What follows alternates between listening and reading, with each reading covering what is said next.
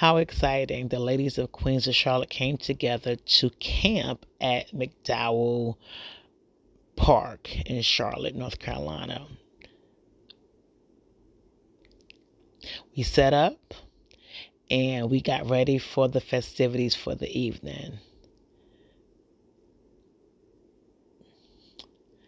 Kids made s'mores and they enjoyed themselves. Next day, we actually went hiking and went all the way to the lake. It was so enjoyable. People actually got in their hammocks and spent time in their hammocks. And later on in the day, we actually played a game. You better.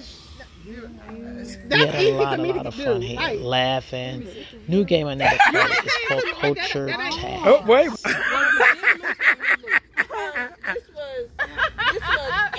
this was 80s Luther, and the next line is gonna be. It was Big Luther. Big Luther. I'm just kidding. Big Luther. I'm just kidding. Just kidding. We really, really enjoyed ourselves with this particular game. This was 80s Luther. And we also played spoons, and Big it was a hit. Um, Big Luther. Everybody really enjoyed themselves.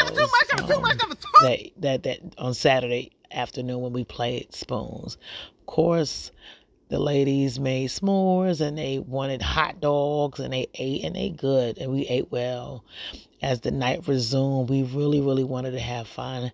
So we actually um, did karaoke. Know this from her act. Go ahead. Bring that to the bank. Go ahead, girl. Go ahead. Uh, talking myself for hours all the ladies wanted the opportunity to sing, and we all, you know, with some songs we actually did sing alongs, and it was truly, truly enjoyable. As the night resumed, we just really had a good time, and all in all, it was a great opportunity to go camping. We really enjoyed ourselves. I know, speaking for myself, it was really, really enjoyable. I enjoyed the ladies, and I want to do it again soon. I'm thinking out loud. There you go. Baby, we found